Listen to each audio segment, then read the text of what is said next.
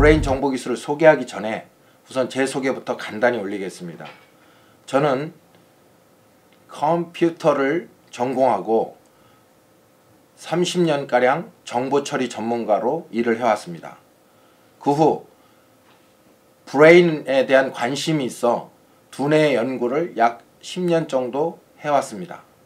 하다 보니 컴퓨터와 브레인의 공통점을 발견하게 되었고 어떻게 하면 브레인이 컴퓨터처럼 논리적이고 효율적이고 합리적으로 일이나 공부를 처리할 수는 없는가라는 질문에 제가 그 답을 찾기 위하여 10년 동안 브레인에 대해서 연구를 하게 되었습니다.